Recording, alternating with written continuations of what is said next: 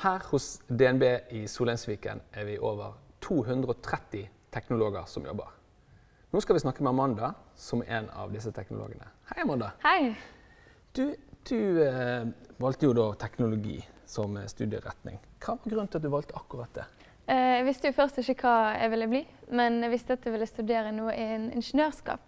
Jeg ville òg gjerne bli noe som jeg kunne drive med hvor som helst i verden. Og min far er informatiker, så jeg ble inspirert av det. da. Så jeg tok bacheloren min i dataingeniør og blir nå ferdig med mastergraden min i programutvikling til sommeren. Og jeg synes jo at det er kjempegøy, så jeg er veldig glad for at jeg valgte det. Ja, det er jo vi òg veldig glad for.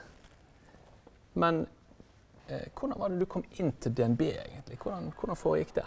Eh, Det var karrieredag på høyskolen, og så gikk jeg forbi stand til DNB. Og der kom jeg i prat med en som jobbet på Puls, som er en eh, app for små og mellomstore bedrifter. Og han sa at jeg kunne søke sommerinternship her. Han fortalte òg at DNB var på vei til å bli minst like mye en teknologibedrift som en bank. Og det gjorde jo at det hørtes veldig spennende ut. Så det begynte med at jeg hadde internship her. Og så fikk jeg 40% jobb ved siden av studiene. Og nå har jeg akkurat signert for å begynne fulltid til høsten. Men hvordan er denne balansen mellom jobb og skole, egentlig? Eh, det er jo veldig travelt, men de støtter heldigvis opp mot hverandre. Her har jeg lært meg gode arbeidsmetoder, som igjen hjalp meg mye i masteren. da. Eh, jeg har fått større selvtillit i forhold til studiene, siden jeg nå har en del arbeidserfaring og jeg har lært meg mye ekstra inntekt. Dessuten er teamet mitt veldig fleksible på når jeg jobber, og jeg kan som regel bytte rundt på de to arbeidsdagene jeg har i uken etter det som passer masteren min. Men Du kommer jo fra et eh, studentmiljø. Hvordan var overgangen der egentlig, fra studentmiljø til et arbeidsmiljø, altså der du jobber?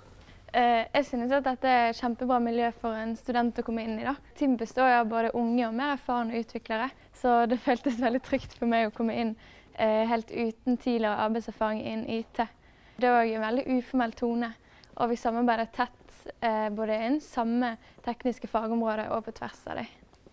Du nevner det faglige. Um, hvordan har den faglige utviklingen vært etter du kom til DNB? Eh, jeg hadde faktisk aldri drevet med apputvikling før engang. Så jeg har utviklet meg mye ved hjelp av snille kollegaer og vi får veldig konkrete arbeidsoppgaver.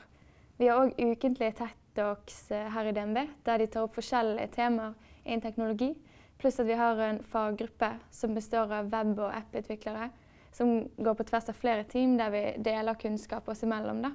Så synes jeg at DNB legger veldig godt til rette for faglig utvikling.